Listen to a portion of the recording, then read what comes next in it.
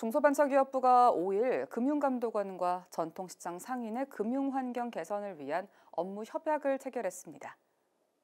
협약의 주요 내용을 살펴보면 전통시장 상인의 금융사기 피해 예방 및 맞춤형 금융상담 창구 마련을 위한 전통시장 금융기관 간 장금이 결연을 지원하고 금융사기 예방 및 신속한 피해 구제를 위해 전통시장과 영업점 간 한라인을 구축하는 신속 대응 체계를 구축하며 영업점에서 정책자금 대출 등 맞춤형 상담 서비스를 제공하는 방안을 마련하기로 했습니다. 또한 전통시장 상인 및 지역 소상공인을 대상으로 금융사기 예방교육을 실시하고 금감원에서 운영 중인 금융사랑방 버스를 지방중기청과 공동으로 운영해 취약 차주 지원 및 금융사기 피해 등 금융애로 상담을 실시합니다. 올해 그 전통 상인 분들을 포함한 소상공인 분들한테 중소벤처기업부에서 정책자금 3조 원을 지급을 하고 있는데요.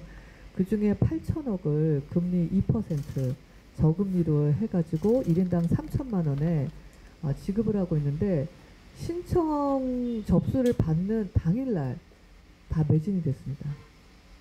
그만큼 지금 자금 조달이 굉장히 어려운 상황이고 이렇게 자금 조달이 간절하실수록 금융 사기도 당하실 확률이 되게 높은데 아주 그런 면에서 이렇게 우리 장금이 프로젝트를 통해 가지고 금융사고 예방도 하고 맞춤형 어, 금융 컨설팅도 해주실 수 있다라고 하니까 전통시장 입장에서는 거의 천군만마를 얻은 것 같습니다.